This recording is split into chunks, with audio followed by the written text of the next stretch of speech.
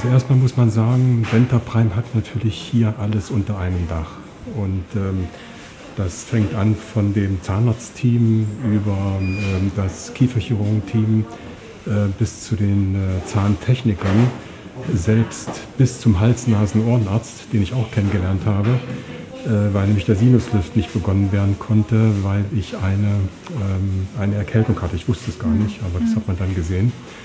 Also das ist schon ähm, eine sehr hohe Erfahrungskompetenz, die hier ähm, weitergegeben wird und das hat mich schon sehr beeindruckt. Dentaprime hat mich begeistert. Danke. Danke. Danke.